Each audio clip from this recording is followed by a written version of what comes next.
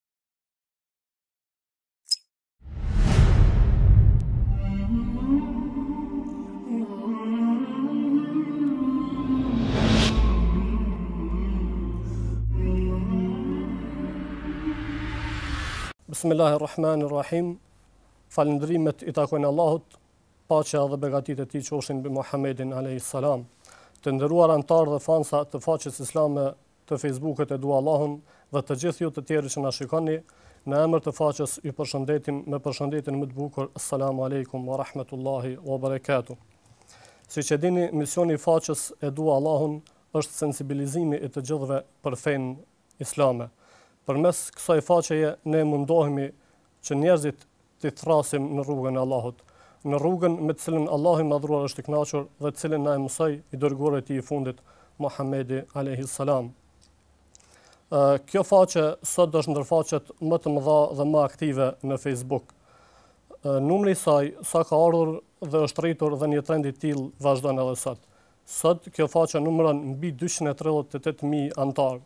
Të gjithë së bashku, mundohemi që të thrasim për veprim të punëve të mira dhe për ndalim nga veprat e këqija.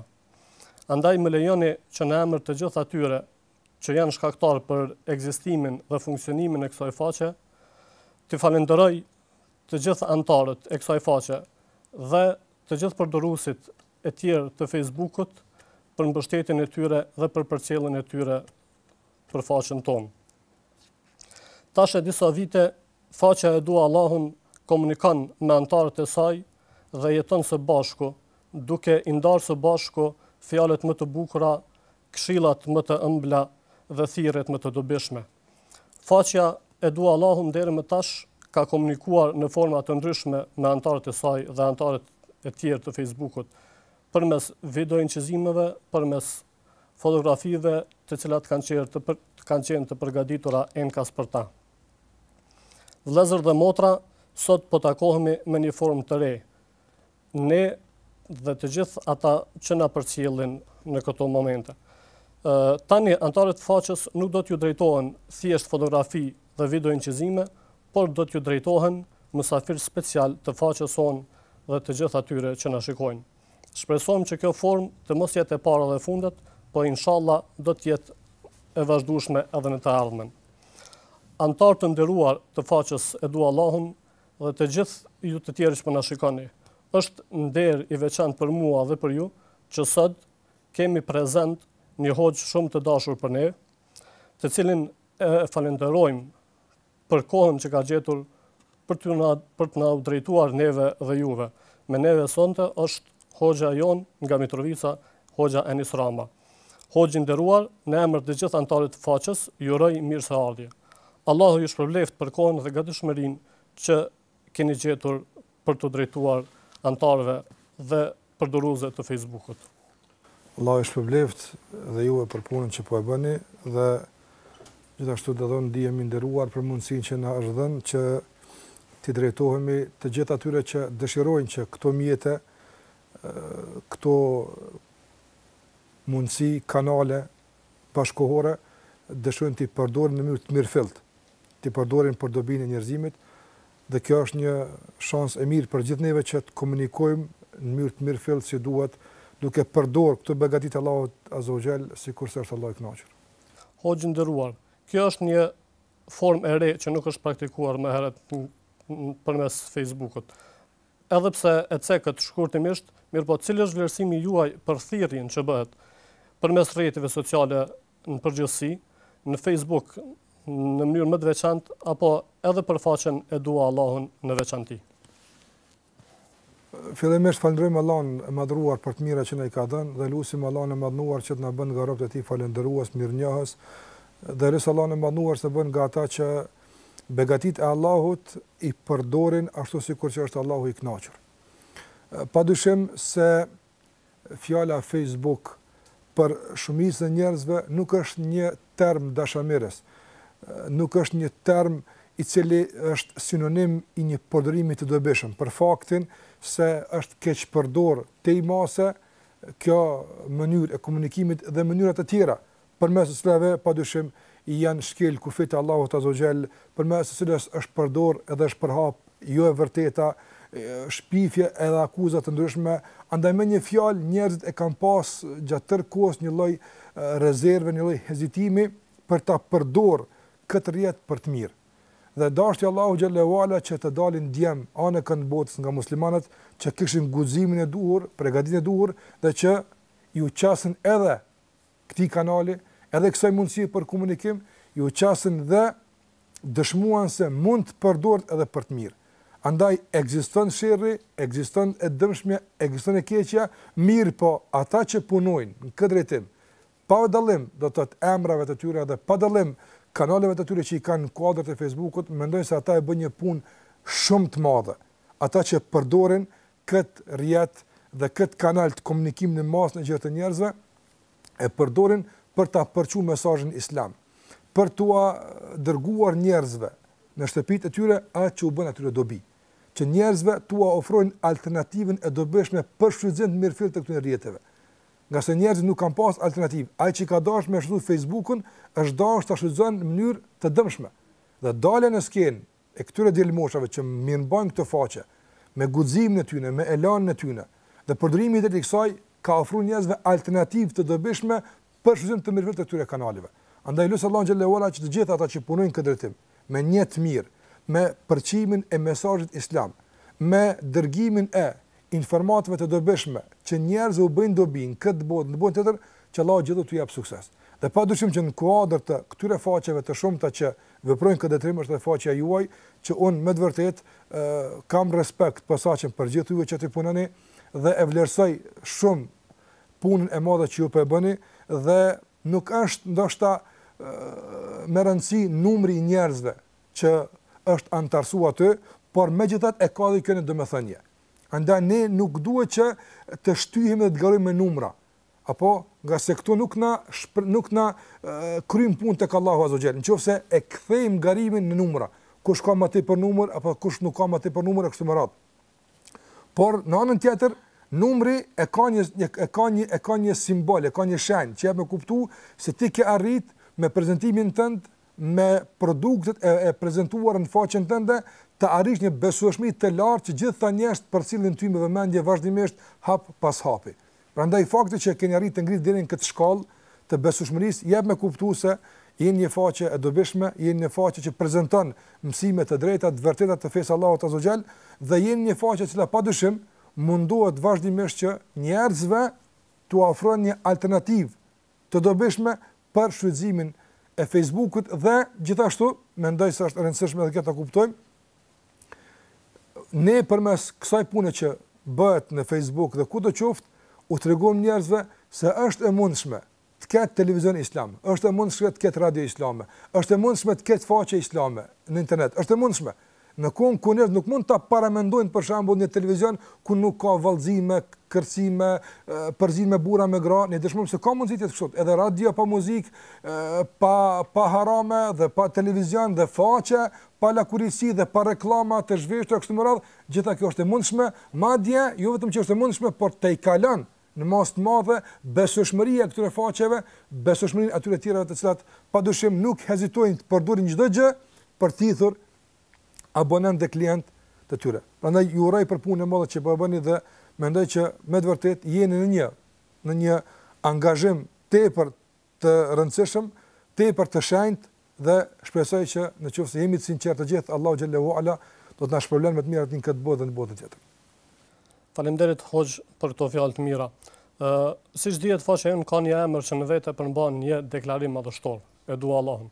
E cekët edhe ju që numri nuk ka rëndësi, Dhe në këtë jemi të sigurt që në këtë deklarim e dua Allahun na bashkangjiten edhe përdorues tjerë të Facebookut, edhe nëse nuk janë anëtarë të faqes sonë, që mund të jenë anëtarë të faqeve të tjera në gjuhën shqipe, po edhe në gjuhë të tjera të botës.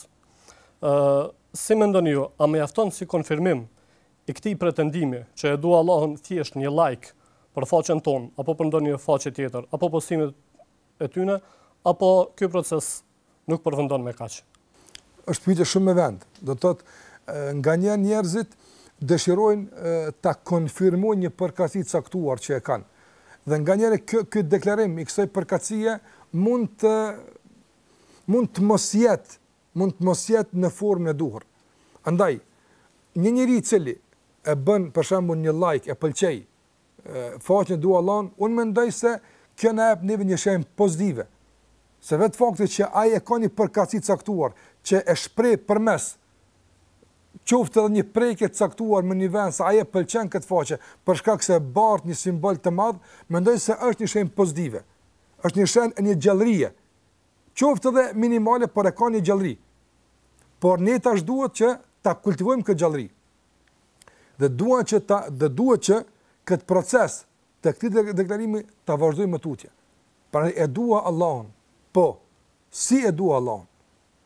Mendoj se po të ishte mjaftueshme që të thuhet vetëm e dua Allahun, ju nuk do të publikonit çdo ditë ligjërata, mësime ndryshme për t'i mësuar njerëzit si me dashtë Allahun.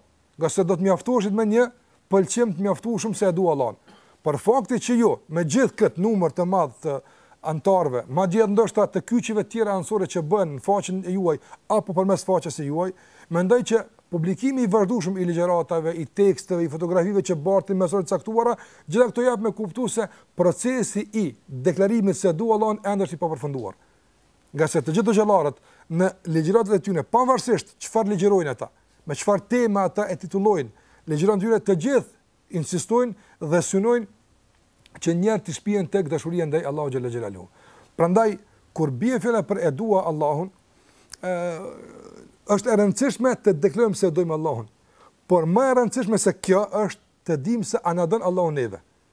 Andaj un mund të deklaroj se e dua Allahun dhe mund të bëj pëlqim aty të faqes se e dua Allahun. Mirëpo, për t'qenë kjo ky konfirmim valid dhe i rëndësishëm dhe me peshë, duhet që rezultati i këtij të vijë se Allahu më don mua. Pra nuk është me rëndësi shumë a e don ti Allahun, por e rëndësishme është a të don ai ty. E për të të dashur ty Allahu xhalla xhelaluhu duhet një punë. Për shembull, nëse vjen dikush dhe thotë, unë kam raporte të mira me filan kryetarin, ose kam raporte të mira me filan kryeministrin, ose kam raporte të mira me filan lojtarin, futbollerin, ose artistin, ose këngëtarin, dhe kjo është një mburrje në botën e sotshme. Nëse dikush deklaron kështu se unë kam lidhje, po pyetja e radhës që ta bën tjetri thotë, e pse ti me, pse ti ki me të lidhje? Kush je ti? Ti nuk je i rangut tij, nuk je i afërt me të. Pse? Andaj ne kur themi e dua Allahun dhe Allahu na do neve, duhet t'ia bëjmë këtë pyetje vetes sonë. A thua pse na do neve Allahu? A kemi ne vepra të mjaftueshme? A bëjmë ne një angazhim të mjaftueshëm? A jemi ne në rrugën e duhur që neve të na të na dojë Allahu xhelalu? Prandaj mendoj se rrugtimi i njerëzve Ta don Allahun mund të fillon nga pëlqimi në faqen e dua Allahun, por nuk nuk nuk nuk duhet të nënkupton asesi se aty duhet përfunduar. Vazhdon më tutje me përcjelljen e mësimeve, legjëratave, udhëzimeve, të cilat na shpien në rrugën që Allahu të na don. Andaj Allahu na don atëherë kur ne bëjmë punë, apo ta them kështu më përgjithësisht, Allahu na don neve atëherë kur ne e kemi ngjyrim të jetës tonë dashurinë ndaj Allahut xhallahu te ala. Kur tërë qenia jonë funksion, funksionon në përputhje me dashurinë e Allahut xhallahu te ala, e atëherë mund të përgëzohemi se ne e dojmë Allahun e madhëruar. Hoxhë i nderuar, jetojmë në kohën e teknologjisë dhe rrjeteve sociale dhe jemi dëshmitarë që këto janë bërë pjesë e përditshmërisë sonë. Cili do të ishte mesazhi juaj për përmbyllje për përdoruesit e këtyre rrjeteve? Apo edhe një mesazh për përdoruesit apo anëtarët e faqes E dua Allahun. Fillimisht vëlla i nderuar mendoj se njerëzit duhet t'ia kenë frikën Allahut kudo që të jenë. Muadhi radiallahu anhu transmeton se i dërguari sallallahu alaihi wasallam e ka këshilluar duke thënë ittaqillaha haythuma kunt. Ke frikë Allahun kudo që të jesh. Andaj duhet ta dish Vëlla i nderuar përdorues, motër e nderuar përdoruese e internetit, e faqeve që kanë të, qofshin informative, qofshin rrjete komunika, të komunikimit sociale e kështu me radhë, të gjitha këto dije se për çdo prekje të gishtit në mausin dhe në faqen ku ti prek, dije se ka melaike në dy krahët e tu që shënojnë çfarë ke prek ti dhe ku ke hy ti. Allahu e din qëllimin pse ti u fute. Allahu e din me kën ke komuniku ti. Andaj për çdo prekje të faqeve që e fut, regjistrohet në regjistrin e librave e librës tënde, që nesër para Allahut xhelle ue ala do të japësh llogari pse u fute këtu, pse shikove këtu, pse lexove këtu e kështu me radhë. Andaj keni frikë Allahun xhelle xhelaluhu, ngase ky është një oqean, në të cilin ka ushqim të shijshëm të këndshëm, por ka edhe peshkaqenë që na gëlltitin dhe na shkyjnë tërësisht. Prandaj është një një është një shpatë me dy teha. Ose do e mbysim veten, ose me pjesën e mbetur do e mbysim armikun. Të shikojmë se kënd po e mbysim realisht me përdorimin e këtyre rrjeteve. Unë shoh sot përdorim të mirëfilltë, të mirë, por në anën tjetër edhe më zhgënjen shpesh herë do të thotë një përdorim apo të them më drejt keqpërdorim i këtyre rrjeteve nga ana e muslimanëve, duke kontaktuar vajza me mashkuj në mënyrë jolegjitime. duke u futur në në faqe të pista të ndyta atje, duke provokuar epshin e tyne, duke duke pozuar me foto të ndryshme e kështu me radhë, çfarë të duhet kjo? Nuk është kjo e nevojshme për të përfitu nga ajo. Futu, përfito atë që të duhet dhe dil nga aty. Gjithashtu përdorimi i këtyre teknologjive nuk duhet të jetë në llogari të obligimeve tjera. Dikush rrin me orë të tëra mbi internet e ik namazi i drekës, namazi i sabahut, namazi i ikindis, apo me orë të tëra duke komunikuar me të tjerët, ik ik koha për mësim, për studim, sa njerëz kanë ra, apo nga niveli i mësimit kanë ra poshtë për shkak të përdorimit të tepërt të internetit. Prandaj këshilla ime e dytë është me masë, përdore por me masë, përdore, por jo në llogari të obligimeve tjera që i ki, obligime ndaj prindve që i ki, obligime ndaj gruas, ka njerëz që me orë të tëra rrin në internet nuk ka kohë me gruan e tij dy fjalë me i bo, ose gruaja rrin në internet me orë të tëra nuk ka kohë me eduku fëmijët e saj një sure me ia mësu, ki frikë Allahun azza wa xhall, përdore me masë, përdore sa duhet, një sikurse ushqimi, sikurse pija, në qoftë se teprohet bën dëm, edhe këtu nëse teprohet bën dëm. Dhe gjithashtu dua të them se këshilla e tretë është, që Elhamdullillah tash ka faqe të mira mos e provoko veten në fund të fundit dikun ku ka dyshime ka dilema mund të duket në aspektin se është faqe islame por mund të jetë e stërmbush me dyshime me dilema me me me me, me material fatkeqësisht deviant që devijon një një, një musliman duke prodhu informata duke publiku informata të dëmshme që nuk ndërtohen në fjalën e Allahut dhe fjalën e pejgamberit sallallahu alajhi wasallam dhe mendoj se faqja dua Allahun, për atë sa unë kam pa dhe kam përcjellë Apo mendoj se është një faqe e pastërt që duhen njerëzit të hyjnë në atë faqe, të lexojnë, ta përcillin, sikurse edhe disa faqe tjera si motra të faqes e dua Allahun. Dhe për përdorues gjithashtu faqes e dua Allahun, mund t'ju them për ta një këshill, dhe gjithashtu për përdorues e faqeve tjera islame që janë. Ju këshilloj që t'i informoni të afërmit e juaj, sa nga miqtë tanë, nga shokët tanë, nga të afërmit tanë, nuk dinë se ekziston një faqe e dua Allahun, ose nuk dinë se ekziston një faqe tjetër që ka emrin Islam e që ka material të dobishëm. Vëlla i dashur, përhape të mirën te tjerët, mësoju të tjerëve. Sot ndoshta nuk kemi mundësi, është e pamundshme njerëzve t'ua mbyllim derën e Facebook-ut, është e pamundshme, ngase ajo derë jo që është hapë, po është thy nga vërshimi i madh i njerëzve. Andaj njerëzit do të qasen, do të qasen në internet, do të qasen, do të qasen në Facebook. Nuk prish punë që një material të dobishëm që e ke dërgoja në rrjetin ose në adresën e mikut tënd, vëllaut tënd, motrës tënde, mixhës tënd, dajës tënd, djalit dajës, ku ne çikin nga të afërmit, dërgoja. Përhape të mirën. Le të jemi ne ata që bashkëpunojmë në punë të mira. Mos të jetë ekzistimi i faqeve islame në Facebook, një arenë e përleshjeve, një arenë e konflikteve mes vete, se kush po merr më shumë njerëz, kush po është më i lavdëruar, jo. Por unë mendoj se ajo që është obligim për të gjitha faqet islame në Facebook, është obligative për ta që ta jetësojnë praktikisht ajetin e Allahut në surën Al-Maida, ku Allahu xhele thotë: "Wa ta'awanu 'alal birri wat-taqwa", ndihmoni, bashkëpunoni në punë të mira dhe në devotshmëri, e mos u ndihmoni në mëkate dhe në armiqësi.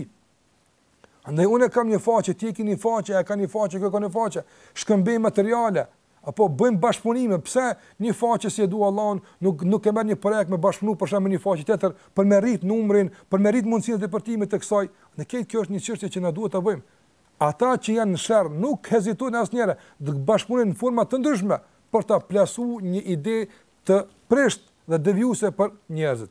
Edhe ne duhet mendoj që të gjithë të bashkëpunojmë, ta përhapim këtë hajër dhe të jemi prezent aty ku janë njerëzit, e jo të ikim prej njerëzve, por të jemi me dinjitet prezent, të jemi me devotshmëri prezent, të jemi me mësimet e Muhamedit sallallahu alajhi wasallam prezent, që krejt bota të sheh se si na ka mësuar Muhamedi sallallahu alajhi wasallam, edhe në këtë rrafsh si duhet të jemi korrekt, jo me mashtrime, jo me mashtrime, jo me vjedhje, jo me vjedhje, jo me gara të pandershme, por sikurse na ka mësuar Allahu xhelle ue ala që të bashkëpunojmë në punë të mira në punë të mbara. Tek e fundit ta dimë, tek e fundit ta dimë, mund të rritet numri shumë atje, mund të bëhet pesëqind mijë, një milion, por nëse Allahu nuk e pranon, çka na duhet? Çka na duhet? Sikurse ka thënë Fudajl ibn Ijadi, thuaju atyre që bëjnë për sy e faqe mos u lodhni. Edhe unë them atyre që garojnë për numra, Garojnë për statistika, mos u lodhni. Qoftë se për hir të Allahut dhe kur rritet numri i anëtarëve në faqen e juaj, gëzoheni për shkak se po rritet mundësia me depërtu e mira, kjo është hajr. Por nëse gëzohemi se po rritet numri dhe tash ja kalojmë faqes tjetër, mendoj se kjo nuk është e ndershme dhe nuk është dinjitoze. Prandaj të jemi të sinqertë, të kemi frikë Allahun xhelle ue ala dhe të mundohemi që ta përdorim për hajr. Përndryshe, më mirë është me e mbyll sesa me vazhdu me e përdor e të jetë në dëmin tonë Allahu na ruajt. Faleminderit shumë hoxhë, Allahu ju shpërbleftë për këto fjalë dhe këshilla të domosdoshme. Dhe për fund, në emër të gjithë atyre që na shikojnë dhe në emër të faqes Dua Allahun, e lusim Allahun t'ju shpërblej për çdo sekond që keni nda nga koha juaj. Allahu ju shpërbleftë edhe juve dhe unë shpresoj të keni sukses dhe dëshiroj të përshëndes të gjitha që që janë anëtarë të faqes së juaj Dua Allahun por gjithë muslimanë dhe muslimanet tjera që përfitojnë nga ky takim i joni. Allah ju shpërbleftë. Të nderuar vëllezër dhe motra anëtarë të faqes Dua Allahun dhe të gjithë ju të tjerë që na shikoni, këtu e përfundojmë me shpresë që do të takohemi në takime të ngjashme edhe në të ardhmen. Ju lëmë nën kujdesin e Allahut. Assalamu alejkum wa rahmetullahi wa barakatuh.